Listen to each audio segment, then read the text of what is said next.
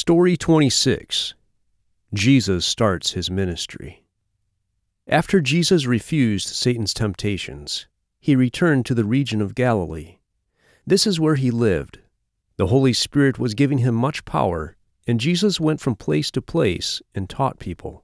Everyone said good things about him. Jesus went to the town of Nazareth. This is the village where he had lived when he was a child. On the Sabbath, he went to the place of worship. The leaders handed him a scroll with the messages of the prophet Isaiah. They wanted him to read from it. So Jesus opened up the scroll and read part of it to the people.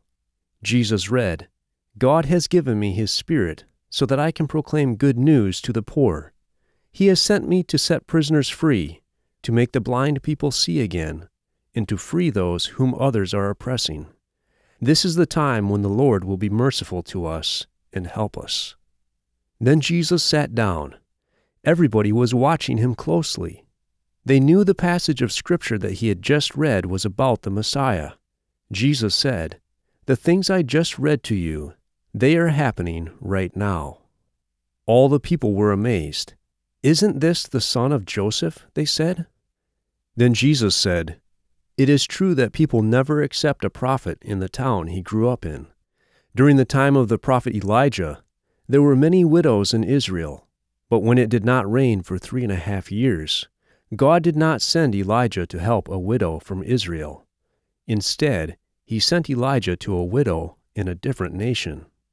Jesus continued saying, And during the time of the prophet Elisha, there were many people in Israel with skin diseases. But Elisha did not heal any of them. He only healed the skin disease of Naaman, a commander of Israel's enemies. But the people who were listening to Jesus were Jews. So when they heard him say this, they were furious at him. The people of Nazareth seized Jesus and dragged him out of the place of worship.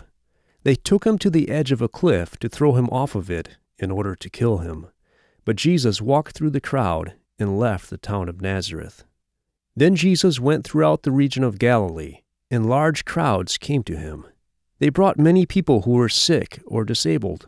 Some of these could not see, walk, hear, or speak, and Jesus healed them. Also, many people who had demons in them were brought to Jesus. Jesus commanded the demons to come out of them, so the demons came out. The demons often shouted, You are the Son of God. The crowds of people were amazed, and they praised God. Then Jesus chose twelve men from among his disciples to be his special representatives. He called them apostles. These apostles traveled with Jesus and learned from him.